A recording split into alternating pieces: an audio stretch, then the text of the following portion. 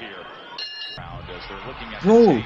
Rigo just quit on his stool. Can't say I don't want any more. Are you kidding me? What? The What the fuck? pound-for-pound fighter is not coming out to continue. You piece of shit. Beaten down, hopeless, without an answer, and Lomachenko has made Wow.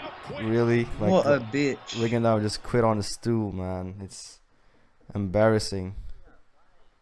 It's embarrassing, man. I mean, I think people over like underestimated the the jumps in the divisions. Um, and the size really. I mean, I expected Lomachenko to have to have the range that he did, but I didn't expect Rigo to be frustrated and just like quit on the stool.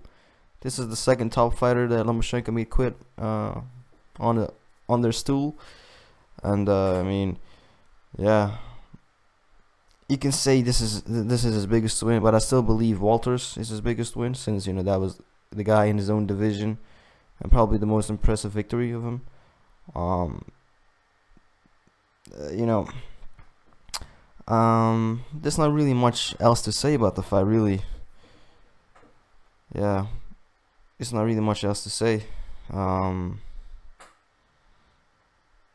I think I thought this fight was gonna be like a 60-40 percent.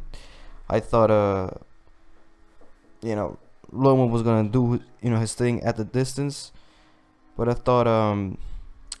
Rigo was uh, gonna land some some body shots that would you know time him a bit, but uh, that didn't happen.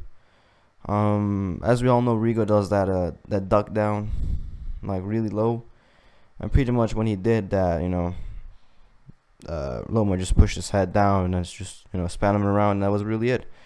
But like seeing him, seeing him um, just like quit on the stool, that was I mean ridiculous, man. I don't know how that you know what what goes through the head of Rigo. But um, leave what you guys think in the comment section down below. This has been Keenan recapping the fight between Loma and Rigo. As always, it's been it's been Keenan from Keenan Game TV signing off. Later.